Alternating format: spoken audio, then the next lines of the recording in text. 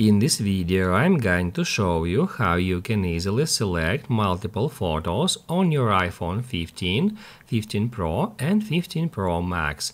Be sure to watch the video to the very end so you don't make any mistakes.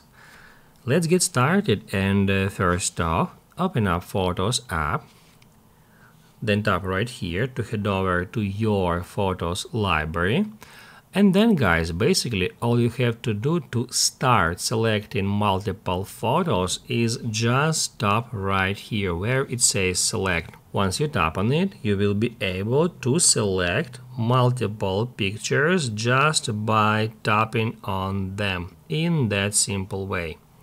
If you would like to select a huge number of pictures at once, you can just drag it and in this way we can select a lot of pictures at once.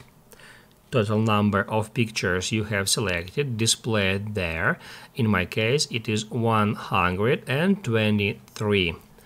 After you selected a pictures you are able to interact with them. By tapping Add Trash Bin we can delete all the selected images. Also, we can tap right here and then we will be able to add them to album in one click.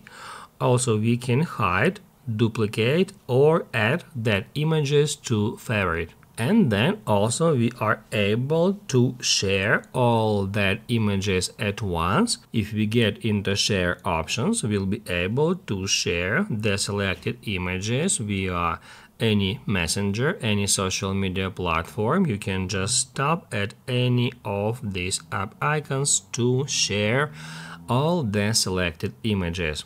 If you want to deselect some image, you can also in the same way tap on images you would like to deselect to uncheck mark them. If this video helped you out, don't forget to hit the like button.